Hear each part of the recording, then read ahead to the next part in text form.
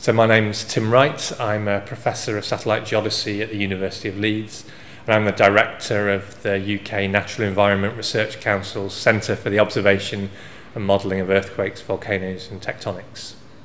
I've been working on INSAR since I started my PhD in 1997.